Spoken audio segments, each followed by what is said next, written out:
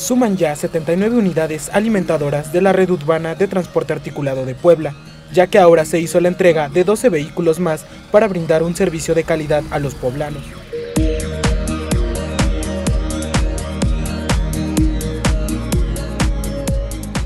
Ahorita con estas son otras 12 más que se suman a las 67 que ya habíamos entregado. En consecuencia, son 67 más 19, son 79 unidades de las 119 que se tienen que intervenir eh, en características de imagen y de anomalías que llegan a tener.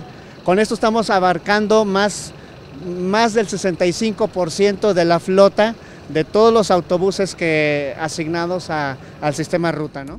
Esto como parte del compromiso de la Administración Estatal que a través de carreteras de cuota Puebla ha modificado los autobuses en su totalidad, donde los usuarios han notado un cambio significativo.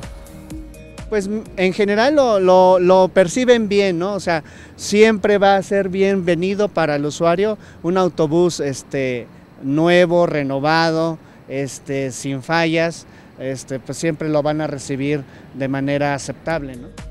Pero también la mejora ha sido percibida por los operadores de ruta, quienes resaltan los beneficios que ellos han adquirido para poder brindar un mejor servicio. Pues para empezar ya están mejor, están pintadas, se ven mejor y para los usuarios es más confortable que como antes que estaban muy maltratados.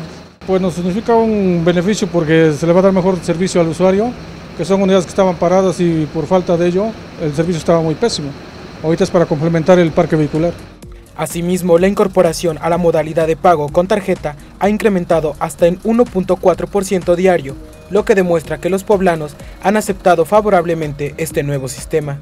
Nosotros estamos viendo un repunte más o menos del 1.4% diario, según las cifras que hemos estado revisando.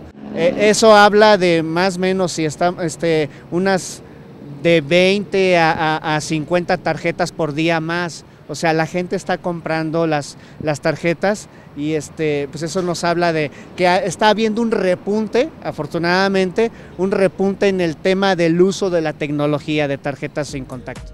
Cabe destacar que la revisión de las unidades de ruta no queda aquí, ya que su mantenimiento será constante a fin de evitar fallas. Consideramos que con las condiciones en que salen, las unidades van a tener menos, menos recurrencia a falla y más aparte pues ya estarnos este, planeando los programas de mantenimiento con las condiciones en cómo salen estos autobuses. Ya solamente falta un 35% de entrega de los autobuses para que este compromiso con los usuarios cierre con éxito. Con imágenes de Adrián Rodríguez para Puebla Noticias, Eduardo Quiterio.